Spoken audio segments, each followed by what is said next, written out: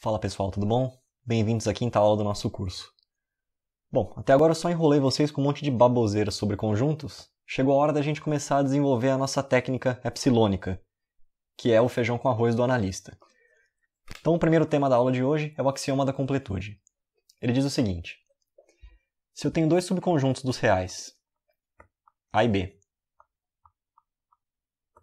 de modo que eles sejam não vazios,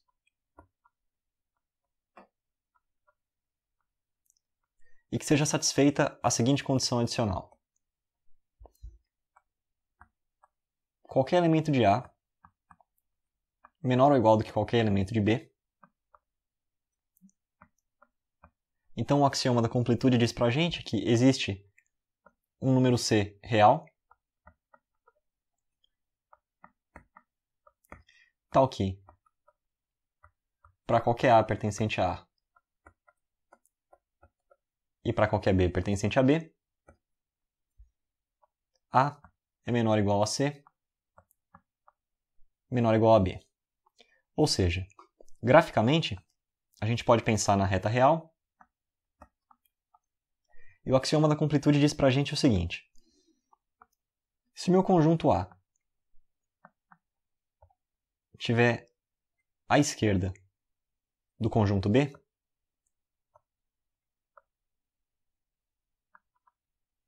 significa que eu sempre consigo encontrar um número que vai estar entre eles. Nesse caso, C. Isso parece um, um axioma muito evidente e, e, bem inocente, até trivial, mas a verdade é que isso é uma propriedade exclusiva dos reais. Tá? Os racionais, por exemplo, já não têm essa propriedade. Então, para os racionais, esse axioma não é válido.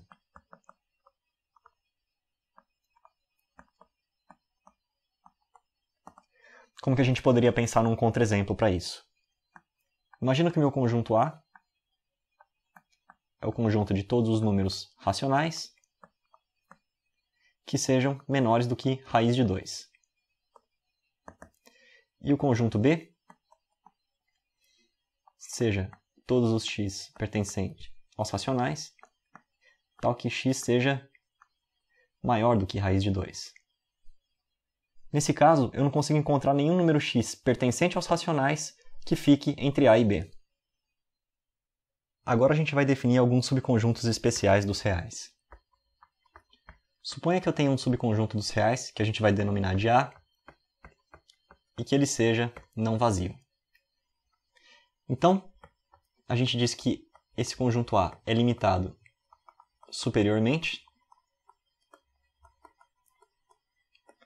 se existir um número real b, tal que, para qualquer elemento do conjunto A, b seja maior ou igual a A. Vamos tentar entender graficamente o que, que a gente está querendo dizer. Então, o conjunto A vai ser limitado se existir um B que esteja à direita de qualquer elemento de A. Então, esse seria um exemplo de um conjunto limitado superiormente. A gente pode pensar em dois exemplos, mostrando que nem todo conjunto é limitado superiormente. Por exemplo, se eu pegar um, o conjunto A como sendo menos infinito zero, esse intervalo aberto, esse conjunto é limitado superiormente. Por exemplo, se eu escolher b igual a 4, eu garanto que B vai estar à direita de qualquer elemento desse conjunto. Se eu escolher agora como conjunto A o intervalo 0 mais infinito, a gente vê que ele não vai ser limitado superiormente. Porque eu não consigo encontrar nenhum número real que fique à direita do infinito. Então significa que esse conjunto não é limitado. Quando for possível encontrar esse número b para um conjunto limitado, a gente vai dizer que b é uma cota superior do conjunto A. Então, da mesma maneira que a gente definiu um conjunto limitado superiormente, a gente pode definir também um conjunto limitado inferiormente. Então, outra vez, a gente tem um subconjunto dos reais não vazio, e a gente vai dizer que A é limitado inferiormente. Se eu consigo encontrar um número, vamos chamar de C, pertencente aos reais, tal que para qualquer elemento de A, C vai ser menor ou igual a A. E aí, analogamente, a gente consegue ver que o elemento C, nesse caso, vai ser um elemento que está à esquerda de qualquer elemento do conjunto A, já que ele tem que ser menor ou igual. Agora uma pergunta para você que está assistindo. Dos conjuntos numéricos que a gente já estudou, será que é possível você encontrar algum conjunto que seja limitado inferiormente? Pausa o vídeo agora e pensa um pouquinho na resposta. Pensou? Então, é possível. O conjunto dos números naturais é limitado inferiormente. Por exemplo, eu posso escolher C igual a menos 10.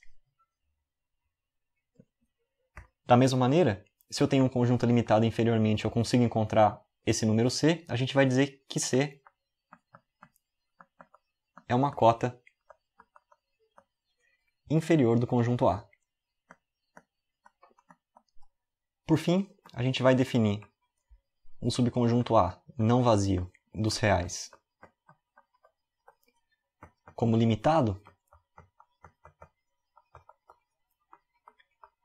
se ele for simultaneamente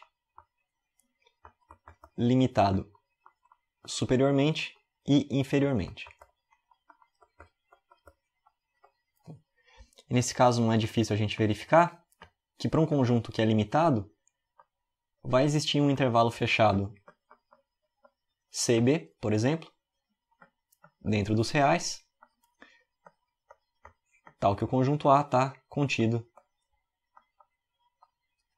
nesse intervalo fechado. Como que a gente pode construir esse intervalo? Bastante simples. Se o conjunto A é limitado, então significa que ele tem cotas inferiores e superiores. Então basta eu escolher uma cota inferior qualquer e uma cota superior qualquer, e eu já garanto que o meu conjunto A vai estar sempre contido nesse intervalo. Então agora a gente vê, fica evidente do gráfico, que tanto as cotas inferiores como superiores para um conjunto limitado, elas não são únicas. Eu poderia ter escolhido qualquer outra cota que satisfizesse as mesmas condições. Então, na verdade, eu tenho infinitas possibilidades aqui. Então, o nosso interesse agora é definir um tipo especial de cota. A gente vai dizer que betil é o supremo do conjunto A se betil é a mínima cota superior. Então, a mínima cota superior do conjunto A.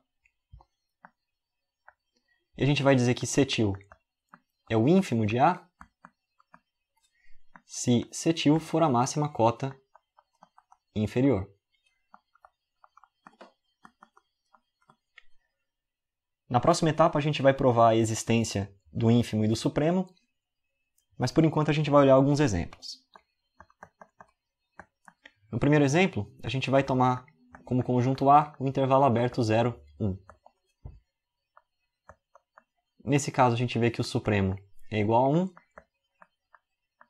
e o ínfimo é igual a zero.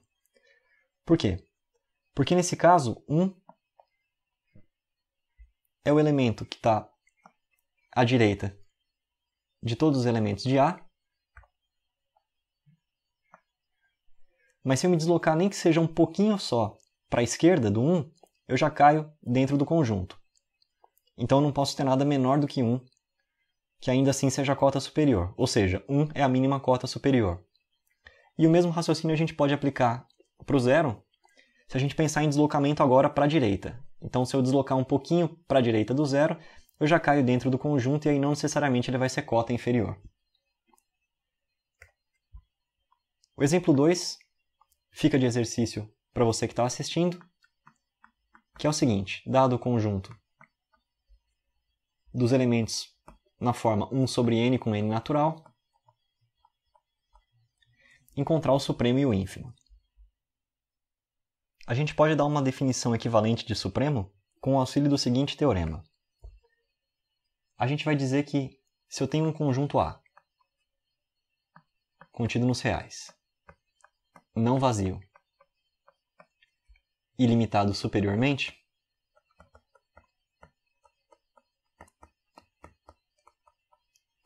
então eu posso dizer que B é supremo de A se e somente se forem satisfeitas simultaneamente duas condições. A primeira delas, para qualquer elemento de A, A é menor ou igual a B. E a segunda delas, para qualquer epsilon maior do que zero, existe um elemento C pertencente a A, tal que C é maior do que B menos epsilon. Então vamos demonstrar esse teorema. Como a gente quer uma equivalência, a gente precisa provar dos dois lados. Então primeiro a gente assume que o lado esquerdo é válido e tenta obter o lado direito, e depois faz o contrário. Então, assumindo que o lado esquerdo é válido, a gente vai fazer a hipótese de que B é supremo de A. Se B é supremo de A, a gente pode concluir automaticamente que a primeira condição vale. Por quê? Porque se B é supremo de A, B é cota superior. Então, já que B é cota superior,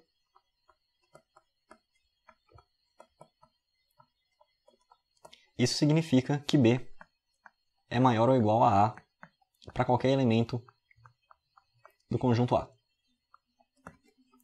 Então a primeira condição está satisfeita. A segunda condição agora, a gente vai provar por contradição.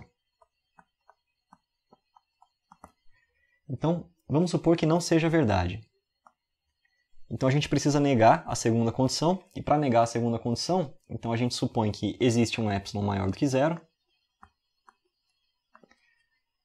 tal que, para qualquer c pertencente a A, C seja menor ou igual a B menos epsilon. Só que se isso aqui é válido, significa o quê? Significa que B menos epsilon é cota superior. Por quê? Porque ele está sendo maior do que qualquer elemento de A. Maior ou igual, na verdade. Nesse caso, B menos epsilon é cota superior, só que como epsilon é sempre positivo, B menos epsilon é estritamente menor do que B. Ou seja, B menos epsilon é cota superior é menor do que B. Nesse caso, B não poderia ser a mínima cota superior. Portanto, nesse caso, B não poderia ser o supremo de A. Aqui a gente caiu numa contradição. Então isso prova que a condição 2 é verdadeira.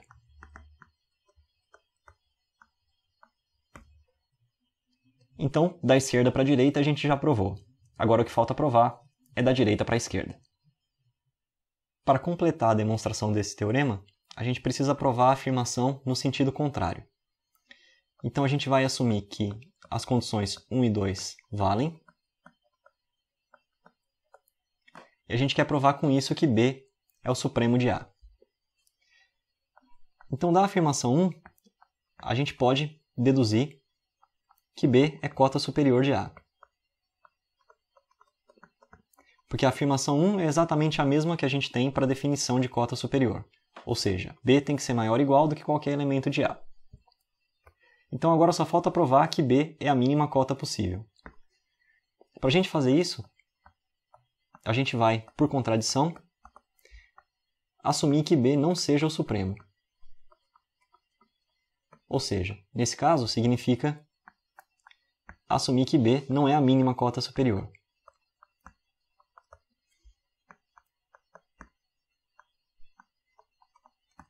Se B não é a mínima cota superior, significa que existe alguma coisa menor do que B que ainda é cota superior.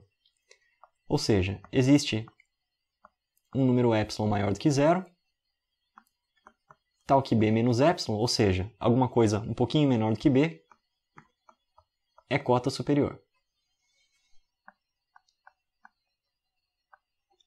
Só que pela definição de cota superior, significa que B menos epsilon tem que ser maior ou igual do que C para qualquer elemento C do conjunto A. Só que se B menos epsilon é maior ou igual a C, isso contradiz a nossa hipótese de que a afirmação 2 é verdadeira. Então essa contradição completa a prova do teorema. B tem que ser o elemento mínimo dentre todas as cotas superiores e, portanto, é o supremo de A. Então, agora usando essa definição equivalente, fica fácil para a gente provar o seguinte teorema. Então, outra vez, A vai ser o nosso subconjunto não vazio dos reais e A vai ser limitado superiormente. Nessas situações, então, a gente pode dizer que existe um único B que vai ser o supremo de A. Então, para essa prova também a gente vai fazer em duas etapas. Primeiro a unicidade, depois a existência. Então, a unicidade a gente vai provar por contradição. Vamos supor que a gente tenha dois elementos distintos que sejam supremo de A. Então, B1 e B2, de modo que eles sejam diferentes. Bom, se eles são diferentes, automaticamente um tem que ser maior do que o outro, estritamente maior ou estritamente menor. Então, sem perda de generalidade, a gente vai assumir que B2 é maior do que B1. Aqui não faz diferença qual você escolhe para ser maior ou menor, porque B1 e B2 são simplesmente duas notações arbitrárias. Nesse caso, se a gente tomar epsilon igual a B2 menos B1, e aqui, pelo fato de B2 ser maior que B1, B2 menos B1, ou seja, o nosso epsilon vai ser estritamente maior do que zero, significa que existe um elemento C pertencente a A, tal que C vai ser maior do que B2 menos epsilon. Por que, que isso é válido? Porque a gente está assumindo que B2 é um supremo. Se ele é um supremo, vale a condição 2 da nossa definição equivalente. Só que nesse caso, B2 menos epsilon seria B2 menos B2 menos B1, porque foi para esse epsilon que a gente definiu. E aqui, fazendo as contas, a gente vai ter B1. Ou seja, existe um elemento C do conjunto A que é maior do que B1. Nesse caso, significa que B1 não é cota superior e aí, por consequência, B1 não pode ser supremo. Como a gente assumiu inicialmente que B1 também era supremo, a gente cai numa contradição. Então isso prova para a gente que B2 tem que ser igual a B1. Ou seja, a unicidade do supremo está comprovada. Continuando a prova, a gente vai agora demonstrar a existência do supremo. A primeira coisa a observar é que na própria condição do teorema foi dado para a gente que A é um conjunto não vazio. Como A é limitado superiormente, então significa que existe pelo menos uma cota superior. Ou seja, se a gente considerar um conjunto B como sendo o conjunto de todas as cotas superiores de A, a gente sabe que aqui existe pelo menos um elemento e, portanto, ele é diferente de vazio. Pela definição de B, todo elemento de B é cota superior de A.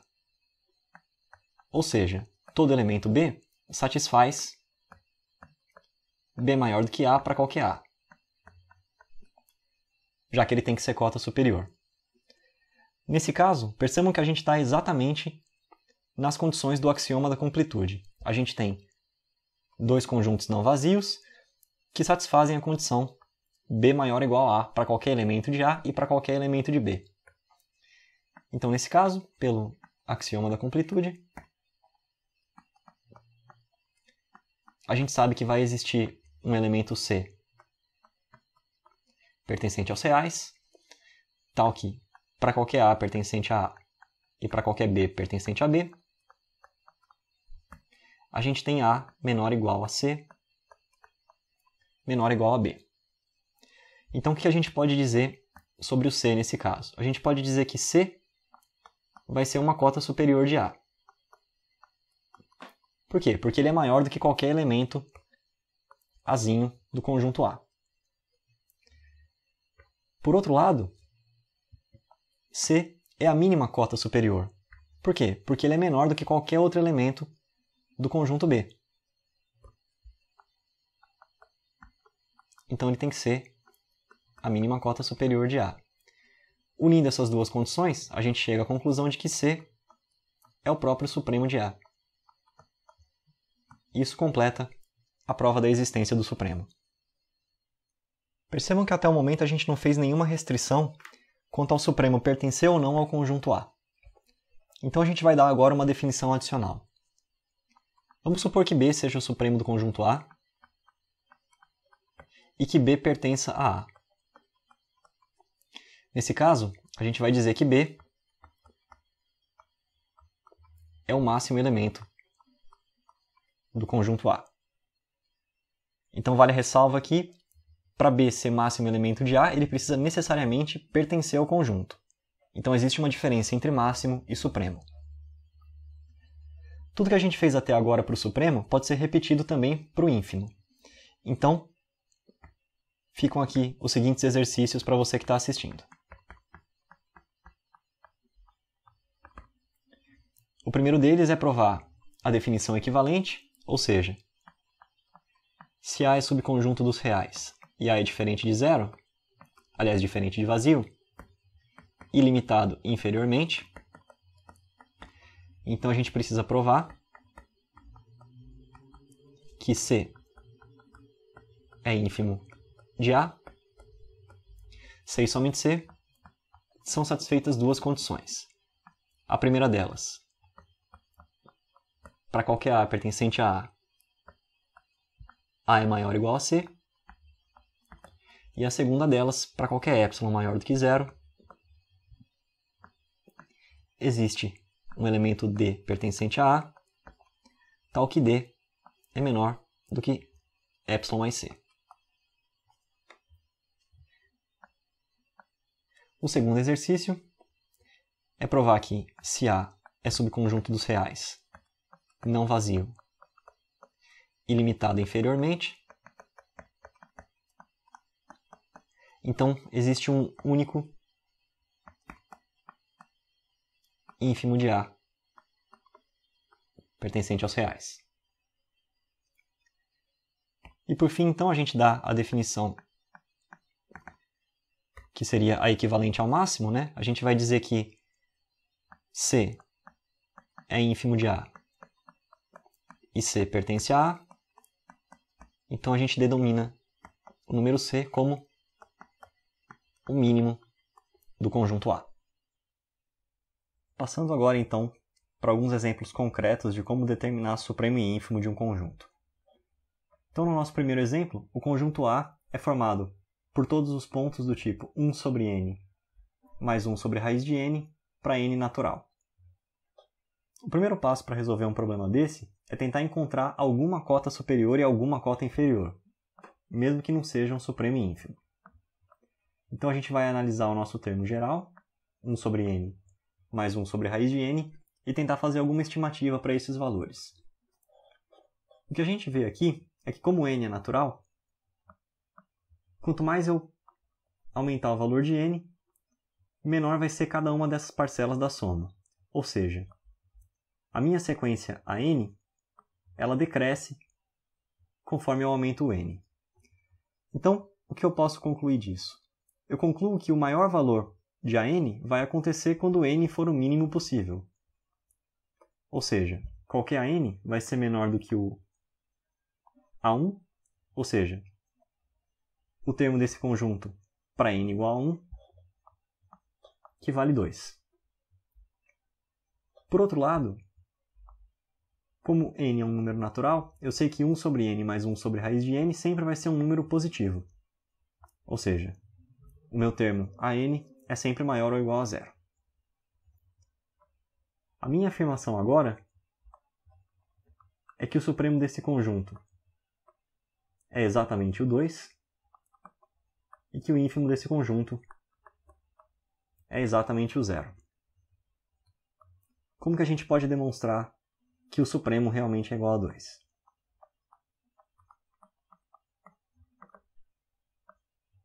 Primeiro passo, a gente vai verificar que 2 é uma cota superior. Isso é justamente o que diz o lado direito dessa inequação. Ou seja, não importa qual seja o elemento de A, ele vai ser sempre menor ou igual a 2. Então, dessa inequação, a gente sabe que 2 é cota superior.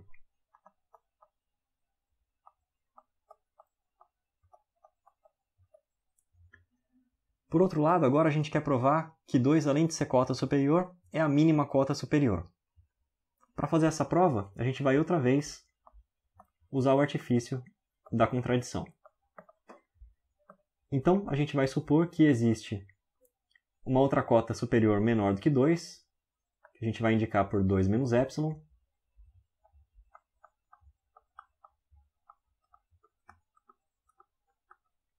E aqui o epsilon, claro, um número estritamente positivo. Só que nesse caso, a gente chega à conclusão de que 2 menos epsilon é menor do que 2, e 2 é justamente o valor de A1, ou seja, 2 menos epsilon é menor do que um valor que está no próprio conjunto. Isso significa que 2 menos epsilon não pode ser cota superior. E aqui a gente cai numa contradição. E agora, para provar que zero é o ínfimo desse conjunto, a gente vai usar a definição equivalente.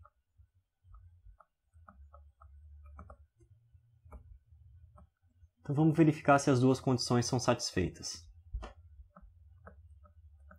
A primeira condição é justamente o que dá a parte esquerda dessa inequação, ou seja, zero, que nesse caso é o meu C, é menor ou igual do que qualquer elemento do conjunto A.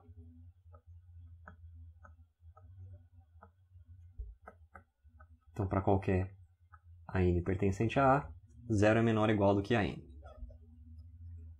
Para demonstrar a segunda condição, o que a gente precisa fazer é o seguinte. Partindo de um epsilon arbitrário, eu preciso encontrar um elemento AN tal que AN seja menor do que epsilon, já que C, nesse caso, vale zero. Como a gente vai fazer isso? A gente vai escrever a fórmula geral para AN, então 1 sobre n mais 1 sobre raiz de n. E agora a gente vai tentar fazer uma estimativa desse valor e forçar essa estimativa a ser menor do que epsilon. Como a gente vai fazer isso? Na primeira etapa, a gente pode fatorar 1 sobre raiz de n nessa expressão. E o que sobra para a gente, então, vai ser 1 sobre raiz de n mais 1. Por sua vez, como n é natural, a gente sabe que 1 sobre raiz de n mais 1 é menor ou igual a 2. Ou seja, essa nossa expressão toda aqui é menor ou igual a 2 sobre raiz de n. E agora o que eu vou fazer é forçar essa expressão a ser menor do que epsilon. Ou seja, dado um epsilon arbitrário, eu consigo encontrar um n específico de modo que a n seja menor do que epsilon. Então, resolvendo essa inequação para n, a gente fica com raiz de n maior do que 2 sobre epsilon. E então, consequentemente, n vai ser maior do que 4 sobre ao quadrado. Ou seja, qualquer termo a n desse meu conjunto para n maior do que 4 sobre epsilon ao quadrado satisfaz a condição de que a n é menor do que epsilon. Então, eu só preciso escolher um em particular. A gente pode escolher, por exemplo, n como sendo a parte inteira de 4 sobre epsilon ao quadrado mais 1. Aqui a gente pega a parte inteira só para se certificar de que n vai ser realmente um número inteiro e positivo, portanto, natural. Isso completa a prova de que zero é o ínfimo desse conjunto A. Mais um exemplo.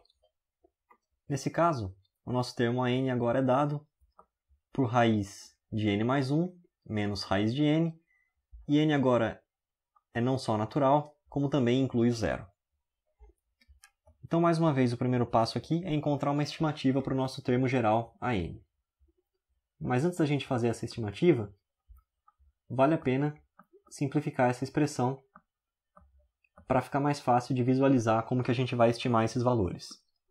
O truque aqui é multiplicar e dividir pelo conjugado. Então, eu vou multiplicar e dividir por raiz de n mais 1 mais raiz de n e dividir pelo mesmo valor. Raiz de n mais 1 mais raiz de n. Então, o que vai aparecer no numerador é uma diferença de quadrados, ou seja, raiz de n mais 1 ao quadrado, que vai ser n mais 1, menos raiz de n ao quadrado, que é n. Tudo isso dividido por raiz de n mais 1 mais raiz de n. Aqui o n positivo e o negativo vão se cancelar no numerador. E o que vai sobrar para a gente é a expressão 1 sobre raiz de n mais 1 mais raiz de n. A partir daqui, esse exercício vai seguir exatamente o mesmo procedimento do exemplo anterior. Então, se você quiser, pausa o vídeo agora e tenta fazer a sua estimativa e a sua demonstração de supremo e ínfimo para esse conjunto. Vamos conferir as nossas estimativas. O primeiro passo, então, é verificar que esse termo geral AN decresce conforme aumenta o meu n. Por quê? Porque o numerador continua sempre igual e o denominador vai cada vez ficando maior conforme aumenta o n. Então, o termo geral AN vai decrescer conforme eu uso valores cada vez maiores de n. Então significa que o valor máximo do termo geral vai ser obtido quando eu tiver o menor n possível, que nesse caso é o zero. Então, quando n for igual a zero, esse termo todo vai valer 1. Por outro lado, a gente tem no denominador a soma de duas raízes, então o resultado vai ser sempre positivo. Então a minha afirmação é que o supremo desse conjunto é igual a 1 e o ínfimo desse conjunto é igual a zero. Então, fazendo o mesmo procedimento do exemplo anterior, vamos provar que o supremo é igual a 1. Então, do mesmo jeito, se a gente olhar a inequação da direita, a gente vai ver que 1 é cota superior.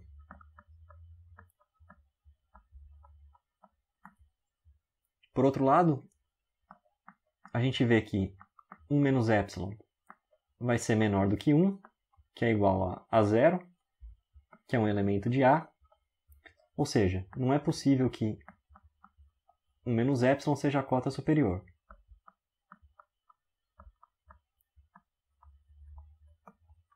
Isso quer dizer, então, que o número 1 é a mínima cota superior possível. E, portanto, isso implica que o supremo de A é igual a 1. E, finalmente, para provar que o ínfimo desse conjunto é zero, a gente vai novamente usar a condição equivalente. Então, a condição 1 vai ser dada pela inequação da esquerda. Se eu usar c igual a zero, eu vejo que o que eu tenho é exatamente isso. Zero menor ou igual do que a n para qualquer n pertencente a A. Ou seja, zero realmente é uma cota inferior. E agora, para provar a segunda condição, a gente vai forçar um n de modo que a n seja menor do que epsilon. Então, dado um epsilon maior do que zero arbitrário, a gente tem que a n é igual a 1 sobre raiz de n mais 1 mais raiz de n.